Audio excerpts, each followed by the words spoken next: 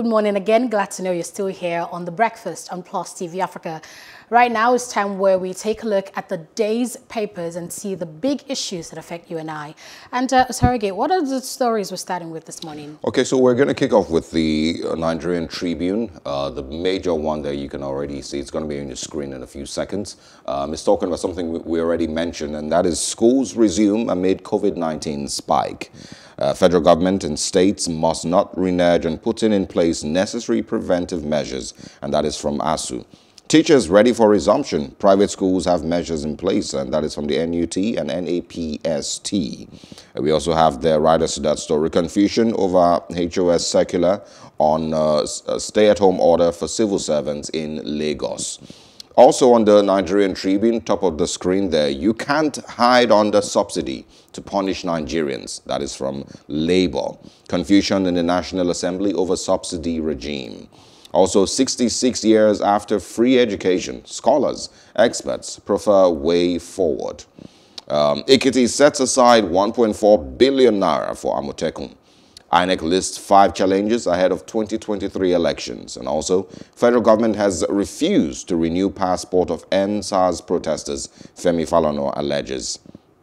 Uh, foreign diplomats must obtain NIN, says the federal government. And also, um, in a battle for Mari or Mate, sorry, military kills scores of Boko Haram terrorists, destroys six gun trucks, and bandits kill 10 in Zamfara, abduct 17 in Niger, kill 80-year-old and four others in Kaduna State. Soldiers accompanying Fulani headsmen to our community, Ogun, um, Obas allege in petition to the army. And also APC membership revalidation, tension as chieftains battle for party structures and supremacy. Those are the ones who we're taking on the Tribune this morning. And just before our guest joins us, uh, we're just going to you know, have quick conversations about these ones. Um, I, I, think we probably would start with uh, the um, federal government refusing to renew passports. And um, I think some bank accounts are still frozen of the EndSARS protesters.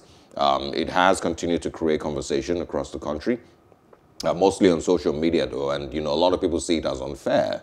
Um, and you know we're still wondering what exactly you know these accounts are frozen for. You know what what's the you know what where's the sense in keeping these accounts frozen? If these persons are going to be charged with something, if there's an investigation still going on, how long does it really take for whatever investigation that needs to be you know carried out to you know to be concluded? And um, what you know does the federal government hope to achieve you know at the end? Um, so there's there's a lot of angles, you know, that you know this can be seen from. There's you know a lot of them, you know, would argue that um, it is just simply bullying. You know, that's what you know some people would say. Some people would say it's just clearly injustice to these persons who you know played their part um, somehow, some way during the EndSARS protests. You know, uh, uh, maybe directly, maybe indirectly. I have no idea who these persons are. Um, but it would always be a part of the conversation, and people would always, you know, bring this up as um, some level of injustice that is still going on in Nigeria today. I think what is a bit weird for me is how things continue to happen like this and how the governments think they can basically pull the wool over our eyes. For this instance, when you know the news broke that they were freezing accounts of EndSARS protesters and uh, government officials began to speak and I couldn't believe their response to this, saying that it was not linked to the EndSARS protests, that these guys had been linked, so to speak, with internet fraud, with money laundering, and so many other accusations that you and I and you in fact watching will find unbelievable, yeah. saying that's exactly why the account refers and that the submission or the request to freeze their accounts were, you know, made before the EndSARS protest. I don't see how that, that matches up, but anyway, that's what the government is saying. We'll uh, go on a short break. When we come back, we'll be joined by our guest so he can, you know, obviously share his uh, thoughts on these stories. Stay with us.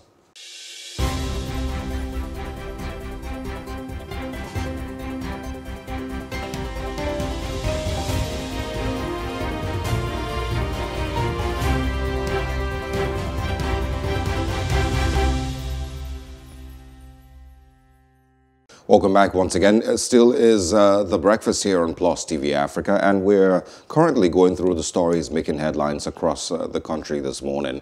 Uh, we have uh, joined us uh, Mr. Liborous Oshoma to share his thoughts on these uh, major stories. Good morning. Thanks for joining us, sir. Yeah, good morning. morning. Yeah, good morning. All right. So uh, we already had started talking about the uh, story from uh, Femi Falana, who you know is saying that the federal government has refused to renew the passports of EndSARS protesters. Um, accounts of uh, some of them are still frozen. Um, there's also a story on uh, schools uh, resuming. Um, amid the COVID-19 spike, um, Labour is saying you can't hide under subsidy to punish Nigerians. Uh, we also have uh, here on the Nigerian Tribune. Um, it, it's a um, crisis, of course, with regards to security. It says bandits kill 10 in Zamfara, abduct 17 in Niger State, kill an 80-year-old woman, and four others in uh, Kaduna State. Um, so let's quickly just rush through this one so we can move to a, another newspaper. Yeah, uh, uh, quickly, uh, please permit me to start from um, the same place you started from. Um, the federal government is making a very big mistake. They've, um, if, if we do not handle this EndSARS, the aftermath of the EndSARS crisis, you know, very well, the message the government is sending to would-be protesters is that next time they should, you know, be very careful, cross their T's and dot their I's. And so they would want to avoid situations when they will have bank accounts here, you know, because if um, the government has till date been unable to track Boko Haram even more than 12 years after, it means that, you know, when the issue started, government takes, took similar steps and then they missed the opportunity to ensure that they nipped it in the bud. That's what they are doing again now with the EndSARS.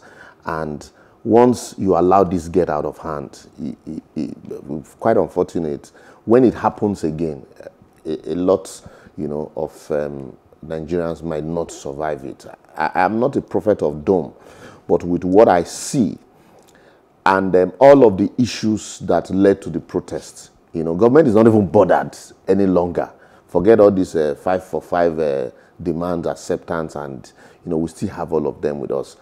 Um, even the police restructuring and reformation is still the same way it is. And now you, you know, you're witch hunting certain persons, despite not taking them through the provisions, you know, of the, the constitutional provisions of trial. You know, you just, you know, um, mark out certain persons and say you, you won't renew their passport. I know some persons will quickly point to America and say, oh, if this happened in America, they would take even, you know, similar steps and the rest. And then they begin to compare it with what happened at the Capitol Hill with, um, with Nigeria. There yes. are two different cases. People should understand that that one, you should compare apple for apple. The, the protest in Nigeria, you should compare it with the Black Lives Matters protests.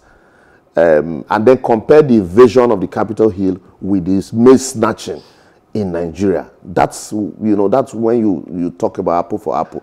But what happened to the, those that invaded the National Assembly and even took away the mace? Nothing happened. And today you're talking about, you know, not renewing passports for um, protesters. And we know in Africa, you know, it's our borders are porous. So anyway, that that that said, um, um, the issue, the other issue of um, um, school resumption. I listened. I took time yesterday to listen to um, Honorable, uh, Honorable. How do I address him now? Professor, Professor Honorable uh, Julius Ihonvbere, and um, he made some salient and valid points.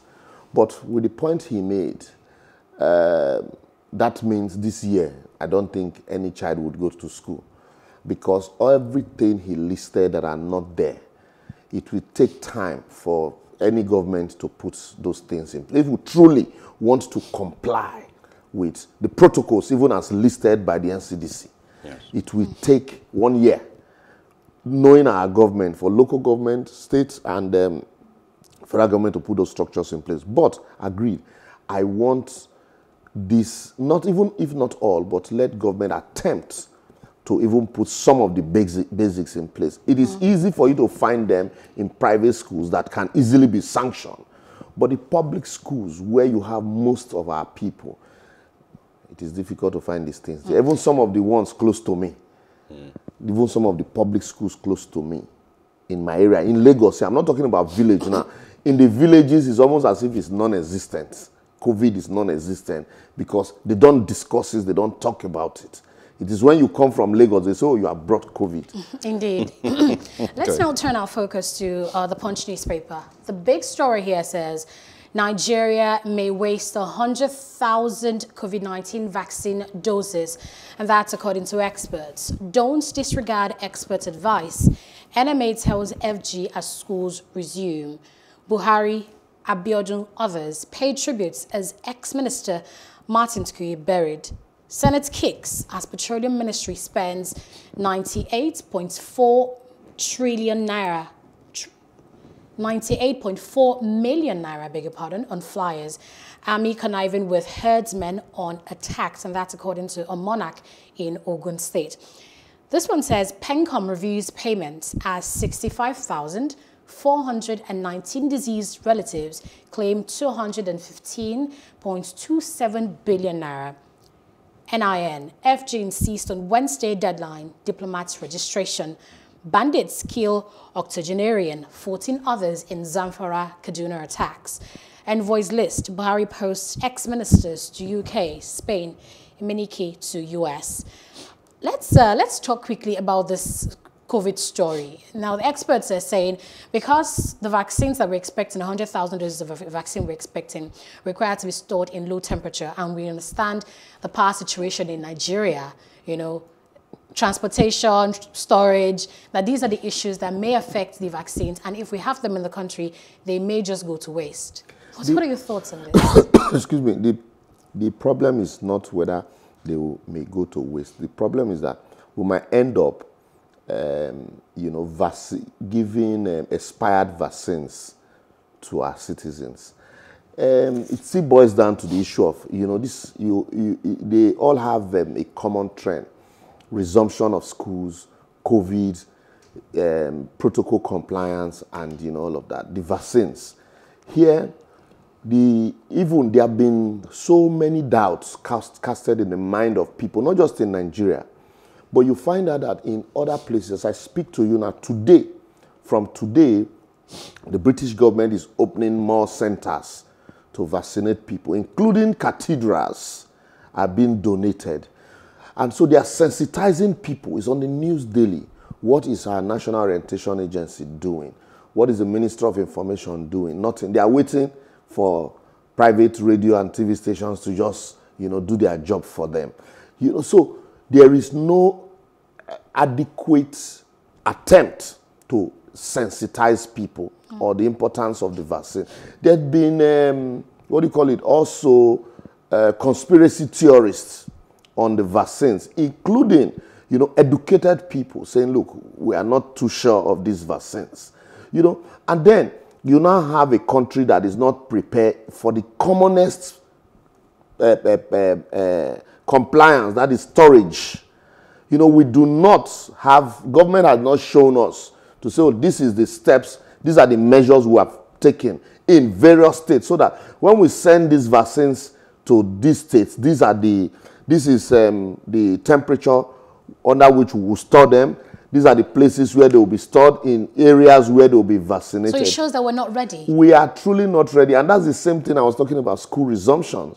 When you, you, you reel out protocols and then you now say in, in your, your uh, what do you call it, um, uh, circulars, you say after wide consultations with all stakeholders and data collected that's for me, it's, you know, a, a broad statement, mm. not tied to specifics. And so when you now want to talk, you say, oh, the federal government said data collected. Where did they collect the data from? Mm. Answer unknown. So did they come to collect data in those public schools in your area or in my area? The answer is no. Mm. Even in the big cities where they are collecting data, they just collect data in a few places and, you know, that's why some people are even asking, even the testing that we are doing, how many of these places are we actually testing? Some In some states, testing is not going on at all. They have even the, the, the like I said last time, even the temporal structures that were put in place had been collapsed, including Lagos. You know, so when you now begin to talk about vaccines, and then you bring them publicly, you vaccinate uh, the president, vice president, and a few ministers, you think that people would just voluntarily allow themselves to be vaccinated when they do not know mm-hmm. the processes for storing True. these things. So how would you expect me to take a vaccine that probably had expired? understand that. We're really running short on time, so I just wanted to, to take a look at just one more story on the punch before we uh, draw the curtains on the segment. Okay, let's uh, let's just do that with the next uh, paper here, and the one here is uh, the Daily uh, Independent. The story here says FG's borrowing puts CBN's price stability remit at risk. Foreclosure law on trial as COVID-19 second wave surges. Stop Buhari from selling public assets to fund budget. And that's Serap speaking to members of the National Assembly. Dangote completes Nigeria's longest concrete road. NIN is mandatory for diplomats, says FG, and the federal government asking EFCC to forward cases on Patience, Jonathan, uh, in addition to other big stories, including this one about uh, doubts persisting over aviation sector recovery in 2021. Uh, which of the stories would you like to take a look at? All of them are very, very um, stories I would like to touch on briefly, quickly. Um, borrowing. Um, it is good to borrow. Big nations borrow. But you must have um, not just a repayment plan, a workable repayment plan that truly at the end of the day, because these days um, the issue of sovereignty, yes. usually in most uh, contract or borrow, borrowing a loan agreement, is waived. Because you can't take my money, go develop your country, and then you now say you're a sovereign nation and you're unable to pay. I, cannot, I can't access that infrastructure. So in most of these uh, international loan, it is waived. And so that's why when you borrow and you do not have a proper structure to repay, you are putting your people consistently in debt and um, might end up mortgaging their sovereignty in the long run. That we see happen, happening in West African, some African countries. And then the issue of price stability. You cannot, you can't stabilize your currency when you produce nothing. We do not produce anything here. We are not even making attempt to produce. Even, I, I, I, I keep saying, farming without value added will end you as, as a poor man. We'll keep talking about farming. Go to farm, go to farm. There are no plans for off-takers. There are no plans for storage. There are no pl plans for processing. So these are ways you can also shore up your local currency because, you know, your, your balance of trade, you know, would um, uh, um, uh, be upped a little bit. But here, all those plans are not there. And so for me, what CBN is just basically doing is what you call kick and follow, mm. you know, chasing dreams. And then the press will help them to, to, to blow those stories. We really do not have those, those plans in place until we sit down and look at ourselves and say, okay, now, when we close the borders, I had expected that, yes, we're closing borders, we would have, just the way we have encouraged rice milling, rice processing, we now would, I can say to some extent that you can boast of, you know, local rice production competing. Yes. But how many of that do we have? Tomatoes in December on Christmas Day, a basket of tomatoes I was selling for 15,000 sold for 1,000 naira. All right, Let, let's let's wrap it up here. We still have you here uh, to discuss uh, the uh, case of underage voting in um, Kano State local government elections. Uh, that comes up in a bit, but for now, this is where we wrap up the off the press uh, segment of the uh, of the breakfast. thank you very much for staying with us. We'll be back after the short break.